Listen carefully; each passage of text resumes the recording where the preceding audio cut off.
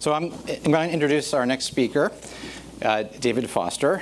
And as you'll see momentarily, uh, he's been at the forefront of neurophysiology with regard to the hippocampus, um, forms of activity known as uh, replay and, and preplay, and, and memory. So uh, David uh, earned his, his doctorate uh, at Edinburgh after an undergraduate at Imperial College London. And at Edinburgh, he um, was working with uh, Richard Morris and Peter Dayan, who was uh, located uh, at MIT at that time in Cambridge. And I gathered from David he was actually shuttling back and forth um, transatlantically for a while, but ultimately decided that was not the ultimate, um, the best way to, to do a PhD and did the majority of the work in, in, in Cambridge. For his postdoc, uh, he again worked with Peter at the Gatsby Institute um, at the University of College London, and uh, subsequently did, a, did postdoctoral studies at MIT, again, with, but this time with, with Matt Wilson. Uh, he then has uh, been a faculty member uh, at Johns Hopkins and now more recently uh, at, at, Berkeley. his work has been recognized by multiple awards, just to name a few, uh, McKnight Award, a Whitehall, uh, NARSAD Young Investigator, and a Sloan Research Fellowship. So it's a great pleasure to have uh, David with us today, and I'm look, looking forward to, David, your talk on um, hippocampal replay.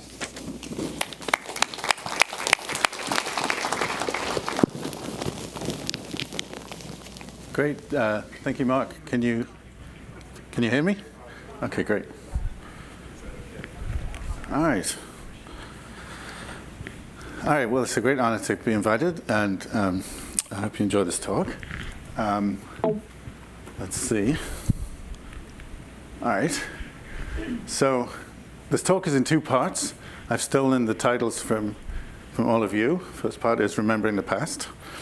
Um, time is short, so instead of this long, laborious introduction, I'm going to scoot through all of this stuff because you already know it all already, and I can explain everything with this one slide. All right. so I'm interested in uh, the hippocampus. We've already heard about the hippocampus a lot. Uh, we know it has this role in formation of memory. What I do is I record the activity of single units, single neurons in the hippocampus in freely behaving rats.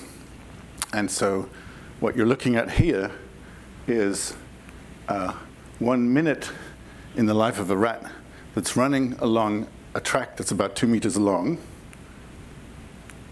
for a few seconds, and then pausing at the end of the track and consuming some food. And what you can see is the uh, raster plots of 19 simultaneously recorded neurons, um, principal neurons in the CA1 of the hippocampus, the output area. And what you're what they seem to be doing, and I've arranged the neurons in order so that you can see that this is what they're doing, they're firing in different places along the track. They're place cells, and they're activated according to the Nobel Prize winning story by the rat occupying different locations in space. But what uh, I noticed during my postdoc was interesting is that when the rat ends up at the end of the track and really classically just these neighboring place cells are supposed to be active. In fact, there were these periods where large numbers of cells were active seemingly all at the same time, but if you blow it up, you see that there's structure to it. And you can see here the neurons are actually activated over a period of about 100 to 200 milliseconds in a temporal order, which seems closely related to the order in which they fire during the running. In fact, it's in reverse order, so the cells at the current location at the end of the track fire first, and then slowly this thing moves back along the track. We call that reverse replay. And this happens at the same time, it's a bit of a delay, okay, as in the local field potential in the hippocampus, there's this thing called a sharp wave ripple. This is actually just the ripple you're looking at, but the point is uh, there are these markers of general population activity in the hippocampus that we can also record, and it's during those that you get these replay events. So all of these are actually reverse replays that have this structure. And so that's what we're going to talk about today, replay. The finding of reverse replay was replicated uh, in several labs after it was discovered. Uh, but there was this really nice study from Kamran Diba showing that actually before, just as the animal's preparing to run along a track, you get this forward sequence. So the order has now been reversed. So this is a forward sequence over about 100, 100 and something milliseconds. And then at the end, you get a reverse sequence. So as the animal's about to do something, you get this prospective replay of what he's going to do. And then at the end, you get a retrospective reverse replay of what's been done. Of course, you've probably figured out that the rats are running up and down this track, so at the same time as you're getting forwards replay of the future path, you also intermingled at different moments are going to get reverse replays of what the animal's just done. Uh, we can tell those apart because the cells are actually, uh, many of the cells are directional. So we can tell the difference between a forwards replay of something that's about to happen and a reverse replay of the same space, but uh, that's been traversed in different heading direction. Okay, so reverse replay is pretty weird. What could you do with it, right? I mean, I don't have reverse replays in my mind if that's what you think, if you think replay is a memory. Uh, so we had to come up with some kind of way of rationalizing this. We came up with this very, very simple model, which is, you know, imagine every time there's a reverse replay, there's some kind of fast onset, slowly decaying reward signal. If you pair these together, some downstream area could learn that nearby, near to the goal, there's high value or high levels of reward, and further and further away, there's less and less. And then subsequently, these place cells could drive some kind of expectation of reward that could guide behavior, right? So you don't even have to buy into all this to see my main point here, which is that reverse replay only makes sense in terms of evaluating the current location. And, and, and so we hypothesized reward is about evaluating the current location. The point is, forwards replay isn't any good for that. Forwards replay is about locations that you're going to get to. So we hypothesized that reverse replay makes sense, but only, only forwards replay shouldn't have any relationship with reward. Reverse replay should. So about five years ago, we did an experiment where we put rats on same linear tracks, just one of them, but one session followed by another session, followed by another session on the same track. But in the second epoch, we increase the amount of food that is liquid chocolate that's available at one end of the track. So it's a reward change. And this is the kind of data we see, raw data in terms of sharp wave ripples. So this is, these are different, this is, this is 15 seconds of stopping, I'm sorry, 20 seconds of stopping at the end of the track. These are different trials, and these are the numbers of sharp waves. And this is the one, one end of the track and the other end of the track. This is the one that got the reward change. This is epoch one, epoch two, epoch three. So I think it's pretty obvious that something happened at the change reward end on epoch two. There were a lot more sharp wave ripples. Um, it's actually more than that. It's the rate of sharp wave ripples changed. So it was increased at that, at that end. And now replay is harder to detect you with sharp ripples. You've got this, you can pull it off of a single wire somewhere near the cells. With uh, replay, we've got to record hundreds of cells at the same time at a single unit resolution, so we've got to be very close. But that shows the same pattern, which is that at the, uh, uh on, the, on the second epoch, the rate of replay goes up. But now we have this hypothesis, right, about what about forwards versus reverse?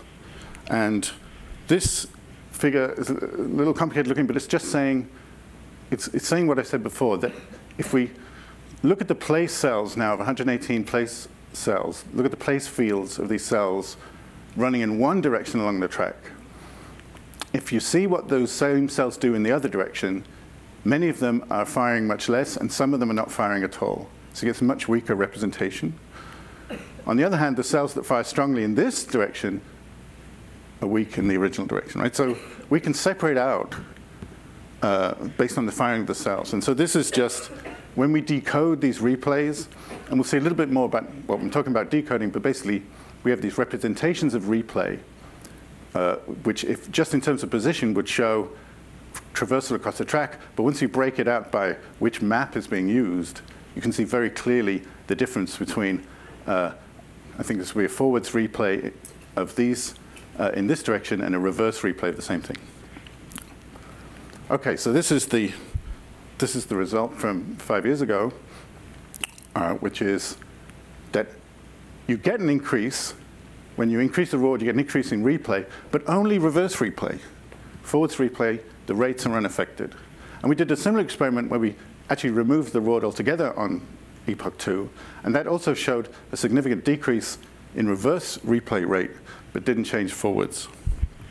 So we have this intriguing idea that reverse replay is particularly sensitive to rewards, which is interesting, and it gave us this hypothesis that reverse replay may support retrospective learning about the values of locations, and basically in the light of what's just happened, and forwards replay may support prospective decision making, using potentially that information to decide where to go. The question, though, is can we really find a reward related mechanism to explain these results? Um, there are lots of things that could correlate with reward changes, lots of behavioral changes that could correlate. So to really, to really nail this, we need to have some mechanistic control over a well-known or some kind of mechanism of reward that we can manipulate and see if it has an effect. And so for, given the pattern of results and some results I didn't really focus on, it looked like the dopamine reward prediction error signal could be the one that explains what's going on. Now, to me, that's very interesting because these are largely two separate literatures.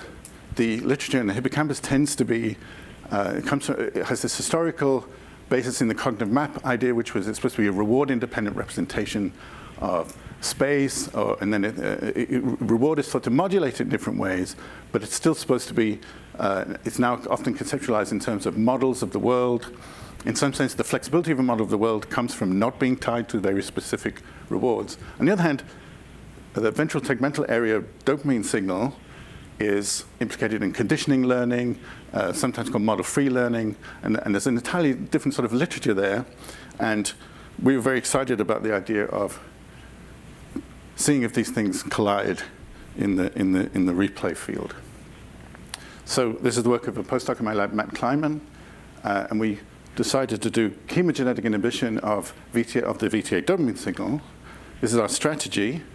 Um, it's a fairly well-known technique, the DREADD technique, but we, um, we used transgenic uh, TH-Cre rats um, in which uh, Cre recombinase is expressed, is restricted to TH positive cells, which means dopaminergic and noradrenergic cells, but we are able to specifically target the uh, Cre-dependent virus stereotaxically to the VTA. This means that the end result of this is that um, this inhibitory DREADD is expressed only in dopamine cells in the VTA. So, and then later on, we'll be able to give uh, a drug systemically and minutes later suppress the activity of these dopamine neurons in the VTA and see if it does anything to replay. And that's very nice for electrophysiology because we don't have any complicated bits and pieces that we're trying to get to work to, as well as all of our recording electrodes, which is hard enough. This is quickly just showing uh, from three different rats the expression of uh, the reporter, which shows where the DREADDs are uh, co-localizing with the TH positive cells in the VTA. You can see here, you get nice uh, uh, co-localization of these signals. All right, so what happens in this task that I already told you about? Rats running up and down a track. I'm going to focus in with these examples on the first two epochs. So the first epoch, the rat's running up and down, and the reward at each end is the same, and then we change the reward at one end, okay? So we are able to do a within animal study for the experimental rats. I should have said we have uh, control rats too where we express the reporter but not, and do everything, but they don't have the DREADDs expressed in the cells. But looking at these experimental animals, they have controls themselves of saline days or CNO days. CNO is the drug that we can give systemically to uh, uh, cause the suppression of the uh, dopamine neuron activity, but we can also give saline that should have no effect. So when we do this, Now you're looking at the rates of, of, of sharp wave ripples. Remember, that's the easier thing to look at. Uh, at the increased end or the unchanged end, and on epoch 1 in black or epoch 2. So you can see that, uh, as you'd expect, there's this big increase in ripple rate at, uh, at the changed reward, where the reward has been increased, right? And then we also have this manipulation of sometimes the tracks are very familiar, sometimes they haven't been experienced before. And you get largely the same effect. So interestingly, when we block, um, well, you might find it interesting. For us, it's quite interesting. When you block uh, dop the dopamine neurons, you, uh, you suppress dopamine neuron activity. The situation is largely the same on a familiar track. See, this looks the same. But what was really then gratifying is that on a novel track, you do get this messing up of the signal. So here, this is the sharp wave ripple rate on the end of the track that's been increased and the end of the track that has not been changed. And you can see that the rate goes up in both. So this unchanged end is very different. And you can imagine that if this is a signal that's going to evaluate the, the uh, uh, is used to evaluate the meaning or outcome of, of, uh, of, different places that you arrive at, this, this would be a bad thing to happen. Um, overall, taking all the data, we see, uh, like I said, these two effects that as you go from epoch 1 to epoch 2, the effect of CNO in the experimental animals is to reduce, actually, a little bit the, the ripple rate uh, that, you should, that you should see, but increase greatly the ripple rate at the completely unchanged end. And the controls don't have that. So the result is aberrant ripple rates at both ends. Interestingly, there is an, a small behavioral effect. We've chosen this task to try and get behavior out of the way because it's a very simple task. And the animal's just shuttling back and forwards, and we, that's deliberate. In this one, we don't want differences, big differences in strategy or behavior to interfere with our results. Nevertheless, there was an interesting small effect in terms of the amount of time the animal spends at each of the ends. And there's not really big changes uh, in the, at the end that has the reward change. So you see, generally the animals spend a lot more time when there's a big reward uh, than, than in the epoch one where there's no, um, where the reward is just the same on both sides. But here you can see that the unchanged end, normal animals, or uh, this is the saline condition, so the, the experimental animals that, but on a saline day, actually reduce the amount of time they spend uh, in epoch 2 at the unchanged end, right? They're in a hurry to get back to the other one because the other one's more interesting. But our experimental animals don't do that. Okay. So one of the questions we have is how rapid are these changes to, sh to sharp wave ripples? I mean, is this some sort of gross change that is slowly happening, or is it something that might actually be reflecting things on a faster basis? So we have a second task where this time the animal's in here, and every single lap, you get a different, unpredictable reward at one end of the track. The changed end is now, it's called the volatile end, and it's switching between these uh, five different levels of, of amounts of liquid chocolate. And you can see in these control animals, you do get this nice pattern uh, that does seem to reflect the amount uh, of reward that's available in any given trial. Uh, and uh, I quite like this figure because you, you see this kind of stuff quite a lot in the monkey literature. You don't see that many figures like that in the rat literature. But what is the signal really reflecting? I mean, there are a couple of things that could correlate with this. It could be that the, what's happening here is ripple, ripple, ripple rate is reflecting the just the instantaneous value, the amount of reward, or maybe some general value that's uh, created out of multiple repetitions sort of averaged over overlaps. So if it was, this is now showing you what we expect. These are just predictions.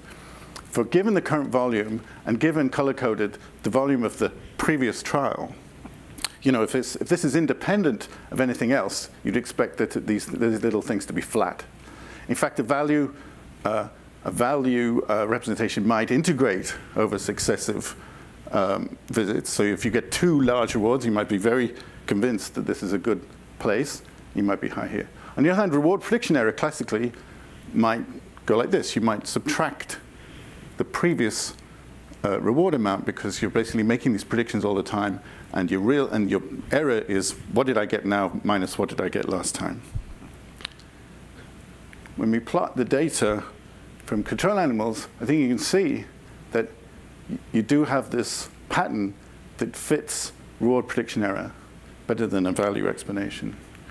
And again, to me, this is sort of amazing because we're talking about ripple rates. You know, this is, firstly, it's a pretty noisy signal, we've always thought it was a pretty noisy signal. And you're getting these things, uh, you know, once a second or something like that. And it's just, uh, and the animal's only stopping for a few seconds. But somehow you can see there is clearly this kind of pattern. Now, when we block with, uh, we, when we block the activity, or rather suppress the activity of dopamine neurons in VTA, it looks like it messes it up. Actually, these two are not statistically different.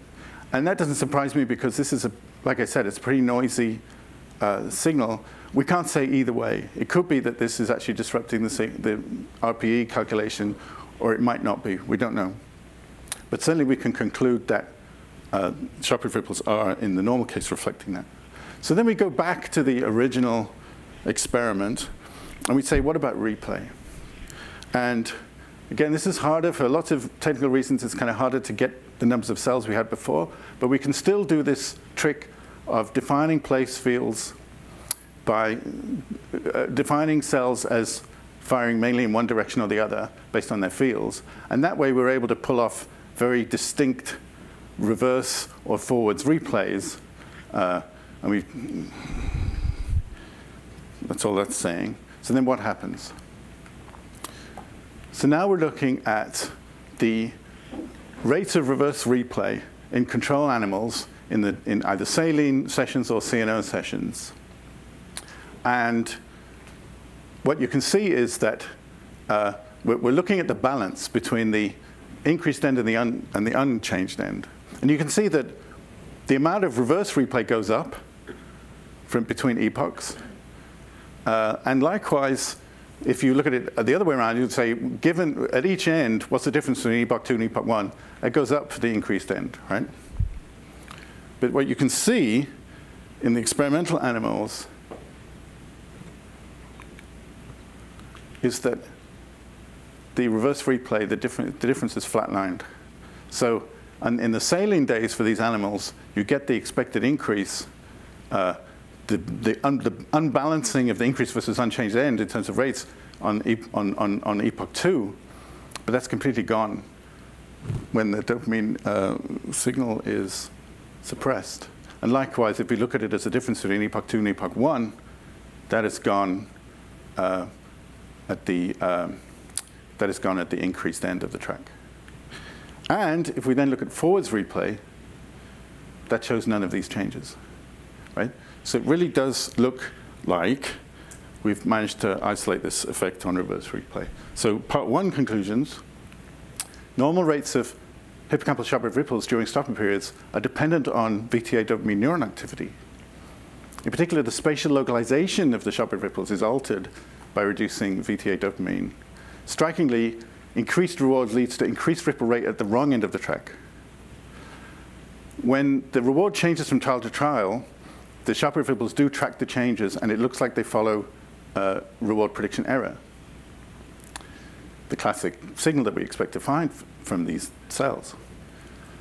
And then examining forwards versus replay, we replicate the original finding that reward changes are driven by a change to reverse replay alone. And we find that this change is dependent on VTA dopamine neuron activity. All right, so much for the past. Let's do imagining the future.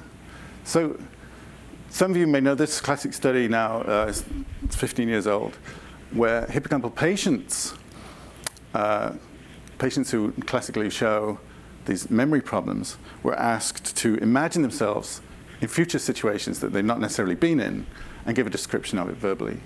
And so uh, the, uh, the classic finding is you ask a patient, imagine you're lying on a white sandy beach, you know, tell me about this.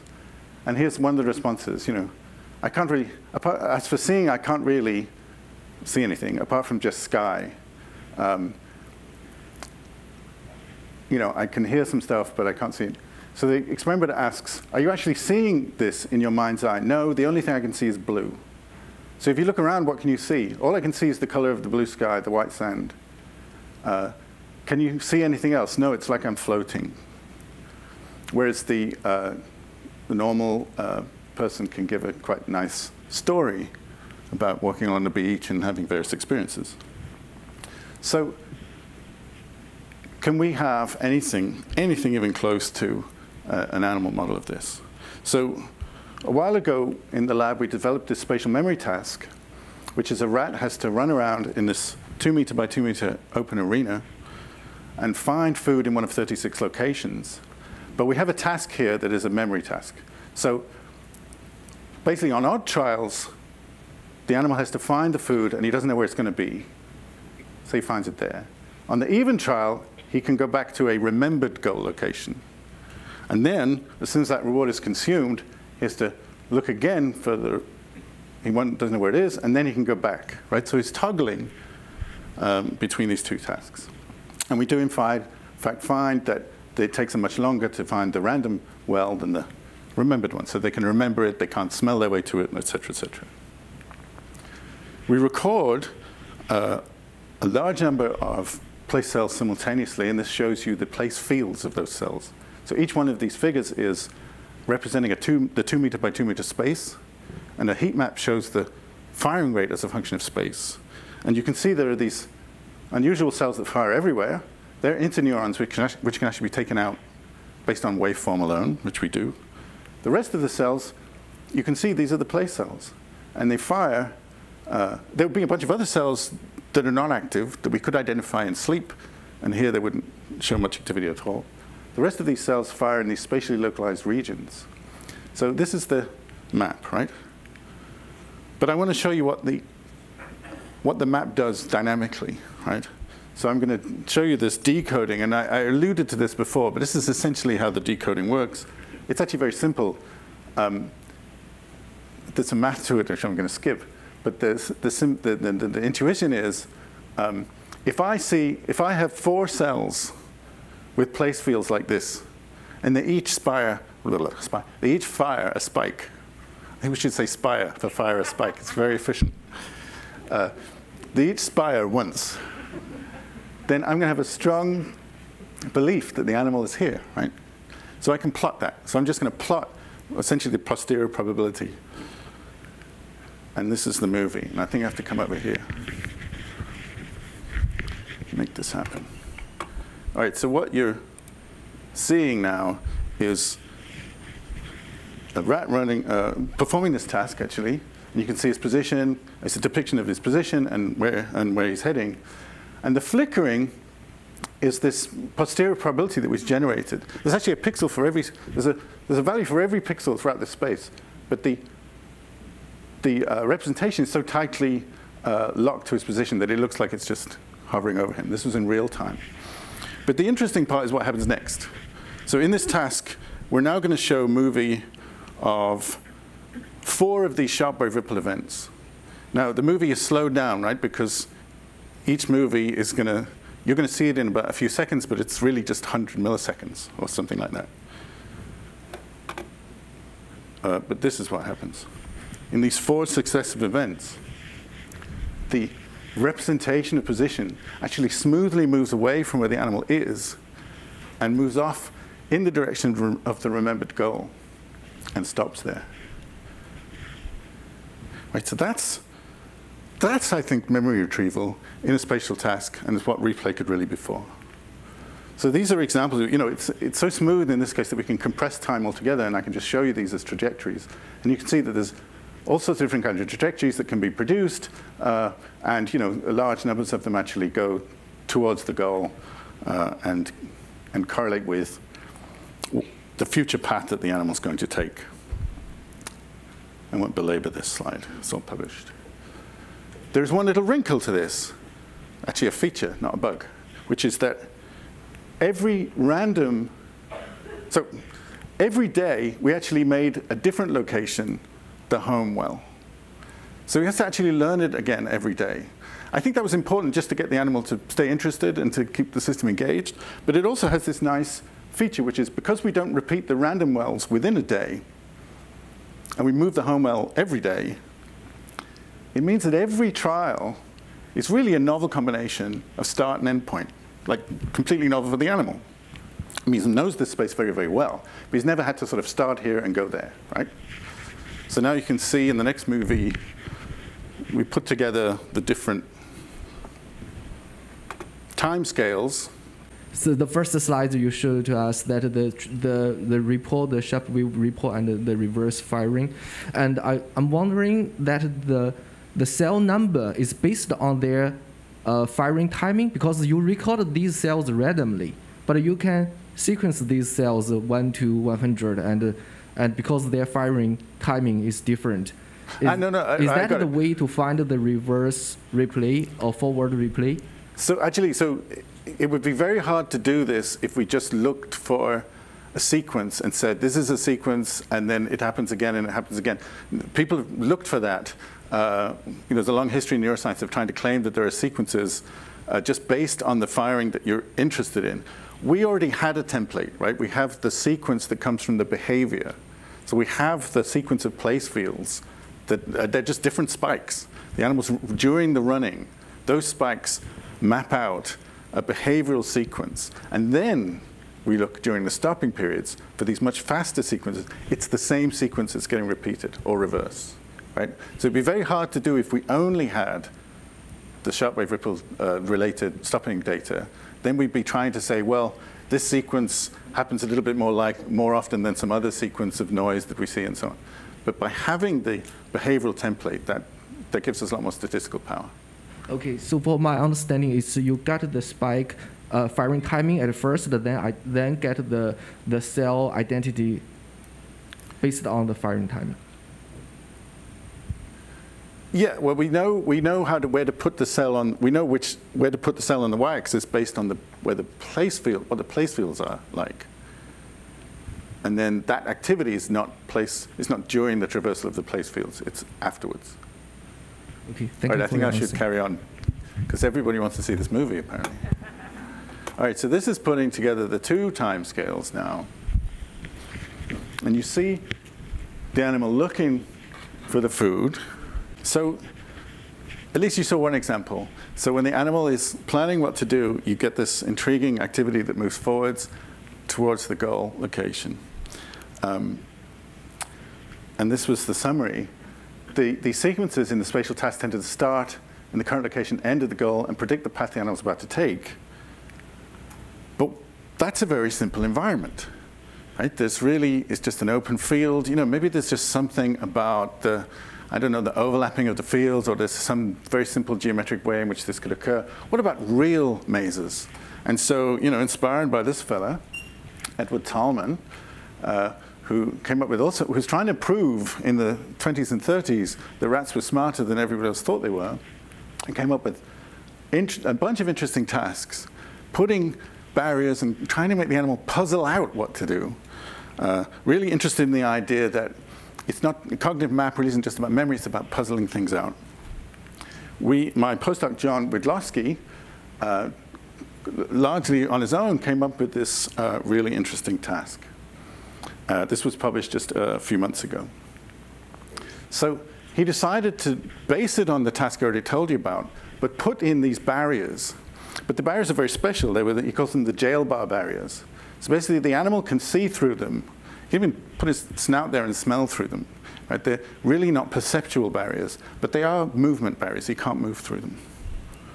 And then, just to really mess with the animal, he keeps changing the positions of these barriers. They're basically random permutations of six, possible, six, uh, six locations out of 12 possible locations. And he creates this sequence very different barrier locations every session. And we started off thinking every day, but then we ended up doing multiple sessions in a day. So the animal has this whole experience of many, many trials with one barrier configuration, then a few hours later, a couple of hours later, a different barrier configuration, and then a third one. And we don't need to read all that. So the behavior is substantially the same. So the animal uh, can't go through the barriers. He is able to uh, get to uh, these home wells, the remembered well, much more quickly than to the uh, when he's doing the random foraging uh, part. Um, and this is sh shown by a bunch of different ways, but uh, so the probability of the rat visiting the well in the first five seconds is much higher for the home well. what does the replay do? Well, the first surprising thing to us was actually what do the place cells do, right? So we record, these, these cells have place fields. They're CA1 hippocampal cells, they have place fields. Uh, looking at the three configurations within a day. So this is a very similar plot to the one I already showed you, but now there are three plots for each cell, corresponding to the three, the, the, the, the morning, lunch, and evening session, right, with three different barrier configurations. And you see, largely, the cells with fields kind of fire in more or less the same place. There are sometimes small changes, but what there isn't is a complete global remapping, which might have been expected. I mean, this, is, this requires different behaviors, not running, but different uh, navigational choices. And yet the same, on the other hand, the sensory environment is, is being preserved. So it's this goes with the sensory environment. But then what does replay do? This is an example of a replay. The animal is stationary again uh, and facing in this direction, but the replay in this case nicely goes around, start, cyan is early, nicely goes around on its way to the home well. And um, across all the replays, again, this is not behavior, this is replays, this is in the animal's head, in his neurons, not in his behavior. You see that the replays in general respect these constraints. But I want to point out a remarkable thing about this. Firstly, this is three different sessions in the same day. Moreover, this is the 75th, 76th, and 77th unique configuration the animal has experienced. So he's learning very, very rapidly, uh, after just a little bit of experience, to hone and change his predictions that are being produced by these replays. Um, and this just shows some examples of, of individual ones, but you can see some very nice examples of these replays that just wend their way around the barriers and seemingly allow the animal to puzzle out his way through these mazes. And uh, there's a higher probability of the replays terminating at the home well than the random wells. And the probability of the rat visiting the home well in the first few seconds is higher if there's been a replay that's terminated there. So we made it part, to the conclusions. The replay associated activity imagines future paths around barriers to remembered distant goals. Demonstrates striking plasticity in the hippocampal replay because these are completely unpredictable, novel configurations that we just made up, really just randomly. Uh, but the animal is quickly able to so there's striking plasticity in replay, strongly dissociated with place fields. So these are place fields replay, it's the same cells doing the same, you know, just spikes from the same cells. The way they represent space during behavior is being very stable. And, and in fact, in a, I didn't show you, but there's some examples where we at least think we can hold a cell. It's not completely kosher, but we claim that we can hold a cell across many days, and we see the same place field for that cell if I can make a stretch here, to me this suggests one way to get at a persistent issue, which is which concerns place fields and the idea that you remap and that a different map is required for every memory you have. There's obviously a close relationship between space and memory. People have known about that for thousands of years.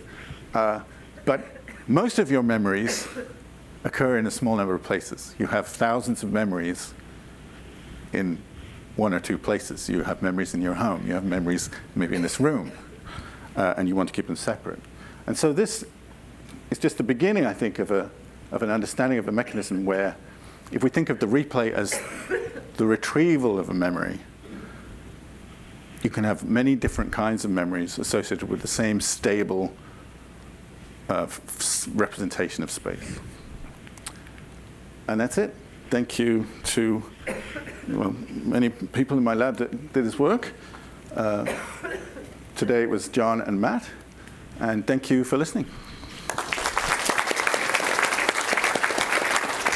So, should, we, should we give this one more go as well? But please uh, ask a question. Let's see, I, we have a question there. Hi, hi David. Hello. Uh, really fascinating talk. I had a question about the dopamine results. Yeah. So I would have thought of dopamine as amplifying the rewarded side of the track, but without dopamine, it, from your actual ripple rates, it looked like both sides of the track now had the same rate as on the 4x side, as opposed to the same rate as the 1x side. So do you think of dopamine as suppressing the least valuable option when it's on board? So I think there's also a clue the fact that it's really the novel, it's really, really happening on the novel track and things are so suppressed and familiar. We already knew that replay rates kind of go down on a familiar track. So there's some, so it's also understood that while there are lots of dopamine receptors in the hippocampus, it's not clear that, that they're being activated by VTA dopamine. And So we think that there's a sort of parallel story to be told, perhaps by us, uh, by somebody, that you know, noradrenergic input might be responsible for uh, maybe the overall levels of sharp wave ripples or something like that. Um, and that, yeah, this is, this, is, this is just a subset of that. Uh, it could be suppressing or but somehow sculpting where you know the, the, the, correct spatial location of it. But yeah, we don't we don't have a, a good model of exactly how that works. But we know that there's this other system that is probably promoting the the, the occurrence of the Sharp ripples. Yeah. Thank you.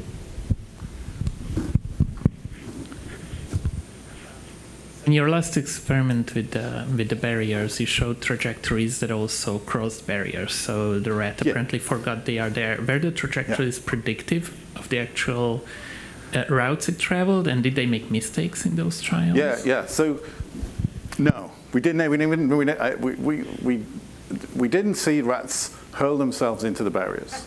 Now, we could have. And in fact, with the very first experiment ever done with rats, in 1901, by a fellow called Small, did exactly that. He had a real maze, and he short, after training the rats, he would shorten the barriers, and his observation was the rats would run straight into the walls.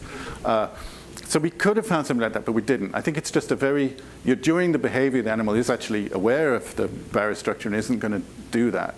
Uh, you could imagine a more subtle analysis where we try to say, well, did the rat head in that general direction? I mean, basically, we don't have a good enough, it's not a one-to-one relationship of having a replay and then the animal actually just follows that trajectory. We're very interested in the question of trying to suppress particular replays and see if we can have an effect on behavior. That's a huge question that we're trying to address. But your specific thing, there's nothing really physically to stop the animal having trajectories that move uh, in his mind, in, in, the, in the hippocampus, that move through the barriers. And a priori, with all of the changes that we did, we almost expected to see that. We almost expected that the barriers might not really control the animal's replays at all by that point. You know, this is a space that once you've had 90 different configurations, why bother, right? So in a sense, the fact that 80% or 90% of the replays do respect the barriers to us shows that that's a, that, that's a key constraint. And the other ones could be memories of previous sessions or noise, right? And we don't have enough data. We the data is not in a form that we could really tell those apart, but those are very interesting possibilities, right? It could be a specific memory of yesterday I could get through, and today I can't. Yeah. Okay, I'm being told we have time for one more question. A naive question. So these are the same set of cells, right? That seems to be toggling between two programs. One is reporting the physical space. The other one is, um, you know, memory of the goal-oriented uh, direction. So how how does the toggle work? Yeah. Uh, uh, uh phenomenologically, as soon as the rat stops moving, the uh, it, that was an observation. It turns out by O'Keefe and Nadel in the 70s that the place code is much less, it it basically goes away when the animal stops moving. What I think they were seeing was replay, but they didn't have enough cells to tell at that time. So yeah, so when the animals are moving, you get the place field activity. But it's interesting, even during movement, it's well understood that uh, you, that if you look at the populations of cells, there is a sequencing there as well. It's just uh, when you average the data for one cell, it looks like a place field. But, but across cells, you have these small little look-ahead sequences that are essentially constrained to the place field, but do have this sequential nature on exactly the same timescale as replay. But replay will be extended through, uh, you know, uh, throughout the environment. These short, they're called theta sequences, are just looking just ahead of the animal. Great. Let's uh, thank David again.